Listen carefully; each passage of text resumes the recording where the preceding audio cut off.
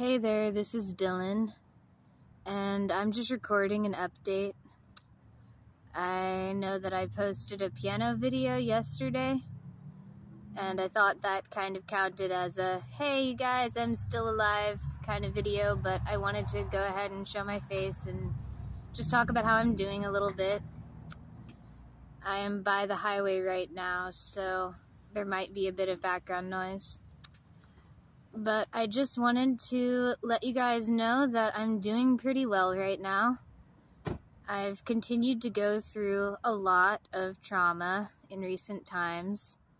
I was living in a tent camp and I got run out by a rather Viking woman who attacked me while I was singing Sleeps Jerusalem.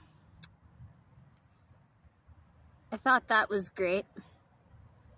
I decided not to fight her because she had a few guys behind her, and instead I tried to diffuse the conflict. And I ended up in a shelter where I have been doing better, and this coincided with me being able to start testosterone again.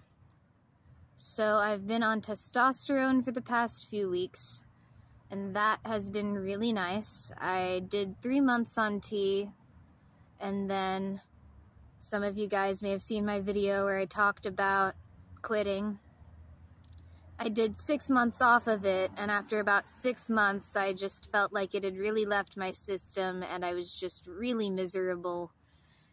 And I was like, I can't fucking do this anymore, so I got sober again. I have a month sober.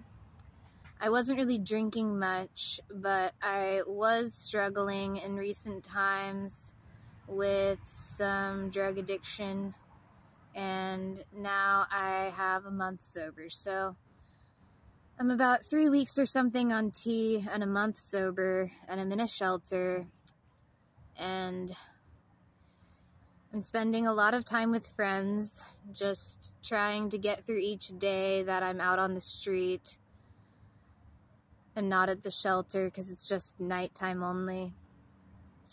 Just, you know, surrounding myself with safe people and I'm just chain smoking and drinking coffee and trying to enjoy my music, my singing, and my piano, and just be in the recovery community because this is a recovery channel and I am here to share a message of health and well being as much as I can, but I also don't ever want to sugarcoat things. I have put a lot of energy into staying calm on here so that I don't share things that are too triggering, but I want to be real. The point of this is that it's a truth channel, not just a recovery channel, and that recovery comes through truth. So I will be honest, the streets are rough. They have beat me to shit and I am just trying to recover right now from all that. So, yeah, I don't know really what else to say, but I'm feeling pretty good being on testosterone. I'm tired, but I'm really feeling the energy, the strength, the vitality that comes from this wonderful chemical we have figured out how to apply to people in my situation men and other non exclusively woman identified individuals who can biochemically sense that there's something hormonally amiss with their natural chemistry and they need the natural field of science and the collective effort of humanity to naturally bring about what will actually feel like a natural state of being for us. And so, yeah, it's pretty cool. I am feeling more like myself a little bit every day. So, on the subject of deprogramming, last time I took testosterone, I was sleeping in a tent on Skid Row. And I was pretty sober, but I was surrounded by people who were not, people who were very agitated. And I found myself getting very agitated and feeling very uncentered. And I really struggled with deprogramming because I felt like my mind was just all over the place and my system was just going crazy trying to figure out what to do. But in the last six months that I was off of testosterone, I've been implementing some strategies for realigning my system with an arrangement that I have created for us that I think is making this time around a lot easier. I have a roof over my head and I have a lot more food. A big issue was food, and now I have meals being provided for me on a daily basis to supplement my food stamps, so that's definitely helping. But in addition to all that is this um, dissociative structure that we spent six months building while off of the testosterone, so that now that we're on it, we can allow the testosterone to sort of seep into our new structure. And this makes it possible for us to not just deprogram over time, but to maintain a basic sense of inner order without the raging hormones just scrambling it all up. Because as much as we want to rush through the deprog process, I think we've shared on here before, probably numerous times, that it is of critical importance to maintain a sense of inner structure that can dissolve over time, but at the right pace. Going too quickly just dismantles us, and then all of a sudden we can't do basic things to take care of ourselves. So we have to maintain basic self care. And not just that, but actually maintain our interests and our social life, which we are also finding is opening up quite nicely with the testosterone as our dysphoria is easing. So, that's all good news. I had something else to say, but now it's going to take me a second to remember it. Um, oh, yeah. So, this is a big one. So, our ex husband, we have been modeling our testosterone plan off of his methadone plan, which I think is kind of funny because testosterone brings you up and methadone really brings you down.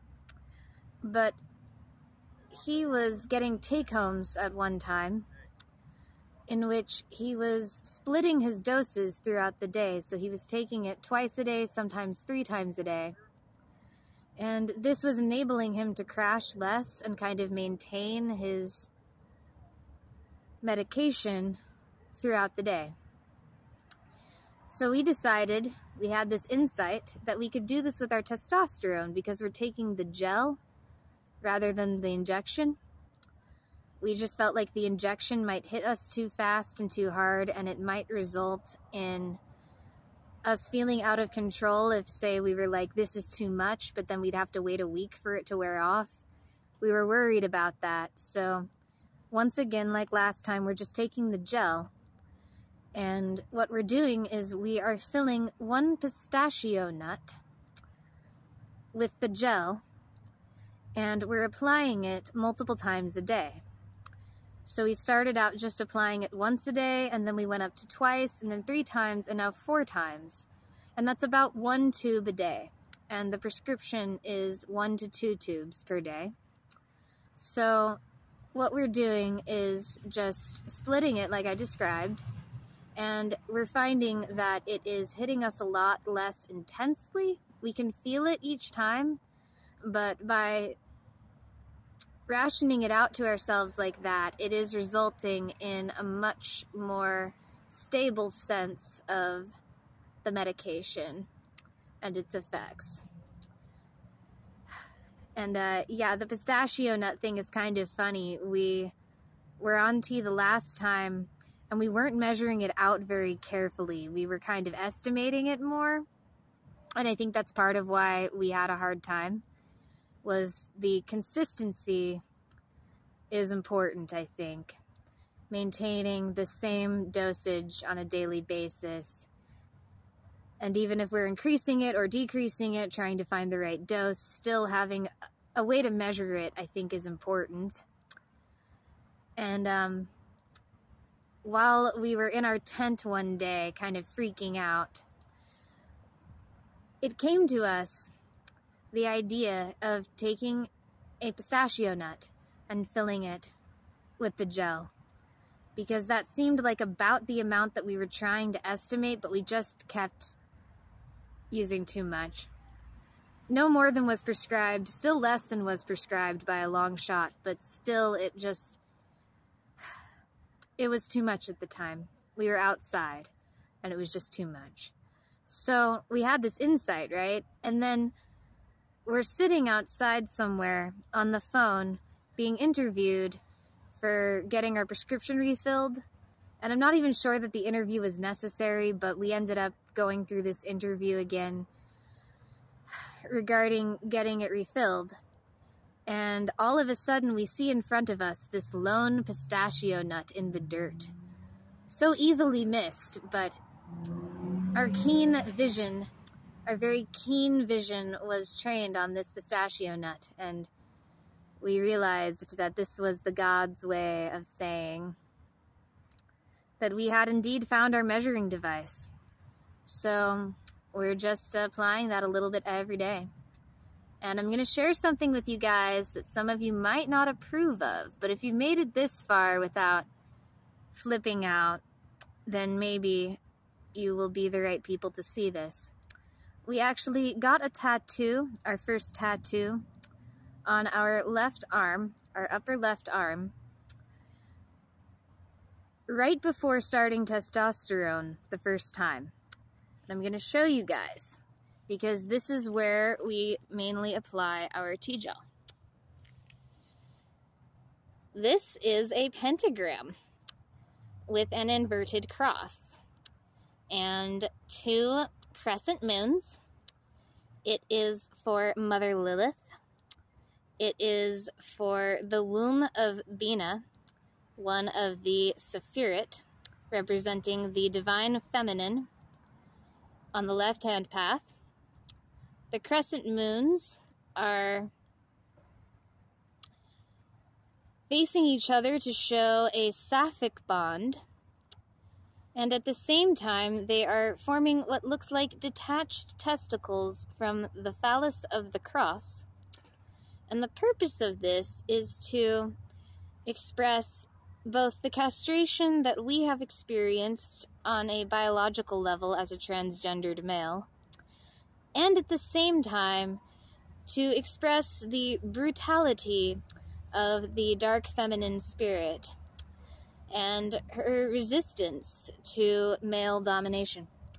So, the reason we got this tattoo is complex, but we largely just wanted to have a marker on our body that says what we think of the divine feminine and our relationship to it because we knew that we were about to start testosterone. And those of us on the more male side of the system, we thought to ourselves, you know, there are some feminine alters in our system who may largely just be survival alters, but they have minds of their own, and whatever resistance they might have to this process, we just thought that it might help us out to kind of give them a little bit of credibility as people of their own and make sure that the world understands that we have a relationship with the sapphic, we have a relationship with the feminine, and with feminism itself, specifically from a left hand path type of perspective. As we are Jewish, we grew up in a Kabbalistic tradition, and it's just important to us that this sort of Judeo feminist side of ourselves um, is remembered. We were worried about a Flowers for Algernon type of situation where once we took the male hormones, this feminine part of ourself might feel forgotten. So, we have done our best to honor that with this big fat pentagram, and uh, we're very happy about the result.